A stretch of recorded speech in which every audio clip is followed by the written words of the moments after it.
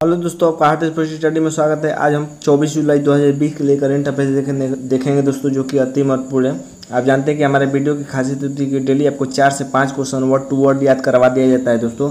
Last में मैं आपसे अभ्यास प्रश्न भी पूछूँगा, जिसका आंसर आप कमेंट बॉक्स में ज़रूर दीजिएगा। तो चलिए, आज का पहला क्वेश्चन देखते हैं दोस्तों। आज का पहला क्वेश्चन है कि A N M D C के नए अध्यक्ष और सी एम डी यानी प्रबंध प्रबंध निदेशक किसको बनाया गया था? किसको बनाया गया दोस्तों? तो ये बनाए गए हैं सुमित देव देव को तीन वर्ष के लिए। ठीक है ना?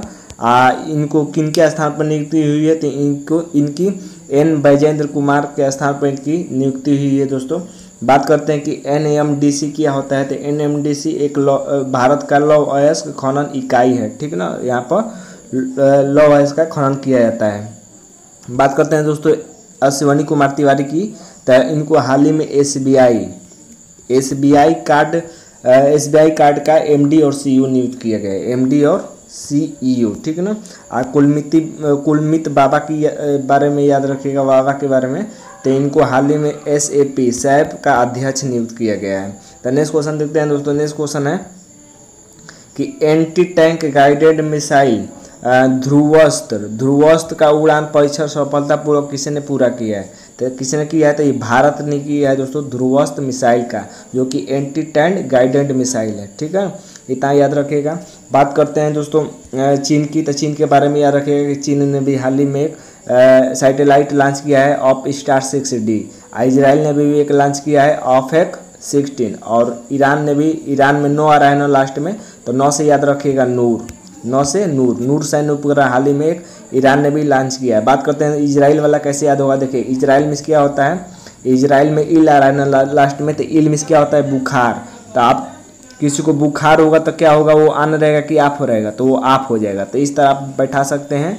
नेक्स्ट क्वेश्चन है दोस्तों कि भारतीय cricket control board control board BCCI किस देश में इंडियन प्रीमियर लीग 2020 आयोजित करना चाहती है? तो किस देश में करना चाहती है? तो ये संयुक्त अरब अमीरात में करने का संभावना जताई जा रहा है दोस्तों। बात करते हैं बीसीसीआई की।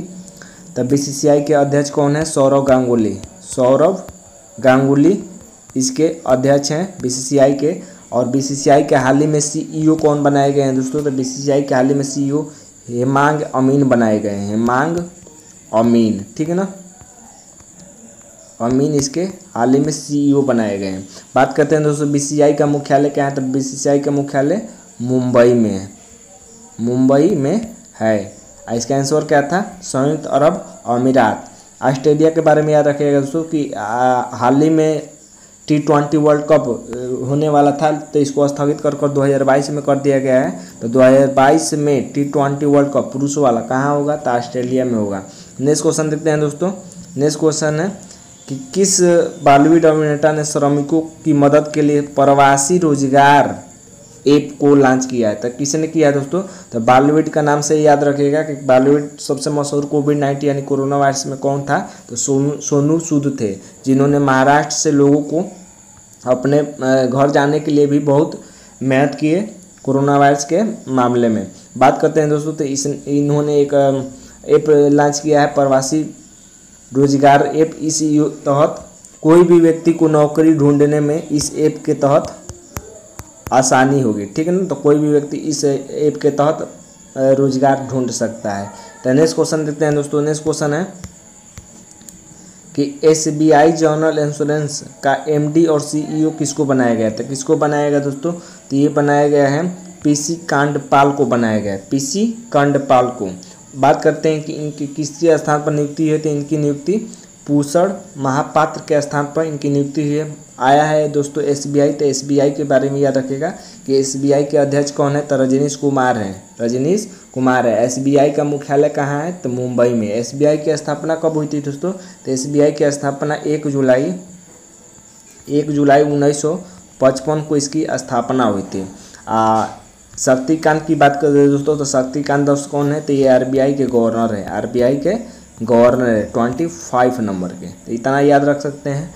नेक्स्ट क्वेश्चन देखते हैं दोस्तों नेक्स्ट क्वेश्चन है कि 24 जुलाई को कौन सा दिवस मनाया जाता है? तो कौन सा दिवस मनाया जाता है दोस्तों? तो ये मनाया जाता है राष्ट्रीय थर्मल इंजीनियर दिवस। बात करते हैं डॉक्टर दिवस को मनाया जाता है तो एक जुलाई को स्वतंत्रता दिवस अमेरिका का कब मनाया जाता है? तो चार जुलाई को और नेशनल मंडेला दिवस हाल ही में मनाया गया है अट्ठारह जुलाई को। नेक्स्ट क्वेश्चन देखते हैं दोस्तों नेक्स्ट क्वेश्चन है कि डीआरडीओ ने भारत, चीन तनाव के बीच एक उच्च क्वालिटी का ड्रोन विकसित किया है। इसका नाम क्या है? तो इसका नाम क्या है? दोस्तों तो इसका नाम है भारत। भारत नाम रखा है डीआरडीओ ने।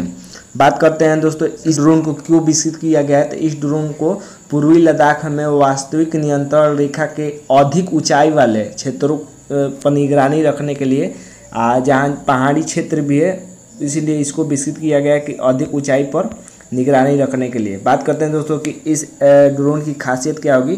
तो इस यह ड्रोन बहुत ही हल्का है दोस्तों, बहुत ही हल्का है और बहुत ही तेज भी है, ठीक है ना?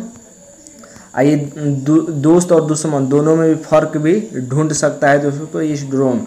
आ, इस फ़र्क को ढूंढ ढूँढने के बाद जानकारी भी दे सकता है। तो इस ड्रोन की खासियत है, इसका नाम क्या है? भारत नाम रखा गया है।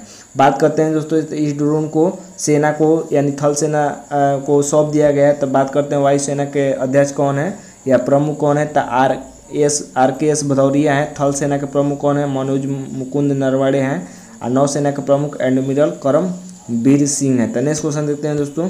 नेक्स्ट क्वेश्चन है कि दक्षिण कोरिया का पहला सैन्य उपग्रह एनासिस सेकेंड को किसने लॉन्च किया है? तो किसने लॉन्च किया है दोस्तों? तो ये स्पेस एक्स ने लॉन्च किया है। ये अमेरिका की एक एजेंसी है तो इसको स्पेस एक्स ने लॉन्च किया है, एनासिस सेकेंड को बात करते हैं दोस्तों, स्पेस एक्स की तो स्पेस एक्स के बारे में याद रखिएगा कि स्पेस एक्स की स्थापना कब हुई थी तो 2002 में इसकी स्थापना हुई थी। और इसके सीईओ कौन है तो Elon Musk. Elon Musk, Elon Elon Musk इसके सीईओ हैं। बात करते हैं दोस्तों दक्षिण कोरिया की। तो दक्षिण कोरिया के बारे में याद रखिएगा कि दक्षिण कोरिया के राष्ट्रपति कौन है? तो मनोज मुन जे इन है और राजधानी सियोल है और इसकी मुद्रा क्या है? तो दक्षिण कोरियाई वन है। ठीक है, ठीक ना? आ, इसरो के बारे में याद रखिएगा दोस्तों कि इसरो के प्रमुख कौन है? के सी वन है। इसरो के प्रमुख के सी वन। नेक्स्ट क्वेश्चन देखते हैं दोस्तों। नेक्स्ट क्वेश्चन है कि फेस मास्क और सैनिटाइजर वितरित करने के लिए देशव्यापी अभियान को किसने शुरू किया है? तो किसने किया दोस्तों? तो ये पंजाब नेशनल बैंक, यानी पीएनबी ने शुरू किया है। बात करते हैं दोस्तों, देशव्यापी अभियान को किसने किसने शुभारंभ किया है? तो इसको शुभारंभ भारत के स्वास्थ्य मंत्री डॉक्टर हर्षवर्धन सिंह, डॉक्टर हर्षवर्धन सिंह ने इसका शुभारंभ किया है, जो कि भारत के स्वास्थ्य मंत्री है और हाल ही में ये डब्ल्यूएचओ के अध्यक्ष भी बनाए गए डब्ल्यू के अध्यक्ष। तो इतना याद रखिएगा। बात करते हैं दोस्तों कि पीएनबी ने यह फैसला किया है कि देश के सभी छः सौ बासठ जिलों में छः सौ बासठ जिलों में लोगों को फेस मास्क और सैनिटाइजर वितरित किया जाएगा इस अभियान के तहत। बात करते हैं PNB Punjab National Bank. PNB के सीईओ और एमडी कौन है? तो ये मल्लिका अर्जुन मल्लिका, मल्लिकार्जुन राव है। मल्लिकार्जुन राव इसके सीईओ और एमडी हैं। आरबीआई के बारे में याद रखेगा दोस्तों कि आरबीआई के आरबीआई भारत का केंद्रीय बैंक है तो इसके पास शक्ति ज़्यादा होगा तो शक्ति कांत दास इसके गवर्नर हैं, जो कि ट्वेंटी फाइव नंबर के हैं। एसबीआई के अध्यक्ष कौन है? Rajneesh Kumar. P N D PNDB के बारे में एक और याद रखेगा दोस्तों, कि पंजाब नेशनल बैंक के ब्रांड अम्बेसडर कौन है? तो विराट कोहली। विराट कोहली इसके ब्रांड अम्बेडसर अम्बेडसर है, ठीक ना? आ क से केनरा बैंक है क से कर्नाटक। केनरा बैंक का मुख्यालय कहाँ है? कर्नाटक में है, कर्नाटक में। और इन दोनों का मुख्यालय कहाँ है? एसबीआई और आरबीआई का मुंबई में है। नेक्स्ट क्वेश्चन देखते हैं दोस्तों। नेक्स्ट क्वेश्चन है कि करूर वैश्य बैंक का नया एमडी और सीईओ किसको बनाया गया? तो करूर में रो आ रहा है ना दोस्तों? तो र से याद रखिएगा रमेश। र से याद रखिएगा रमेश। यानी रमेश बाबू को इसका नया एमडी और सीईओ बनाया गया है, जो कि पी आर सिहादरी के स्थान पर बने हैं। तो इसका आंसर कौन है दोस्तों? रमेश बाबू है। रमेश बाबू, बात करते हैं दोस्तों राजकिरण राय की। तो राजकिरण राय को हाल ही में यूनियन बैंक ऑफ़ इंडिया का नया सीईओ बनाया गया है। यूनियन बैंक ऑफ़ इंडिया का नया सीईओ बनाया गया है। रजनीश कुमार की बात करें तो एसबीआई के क्या है? अध्यक्ष हैं।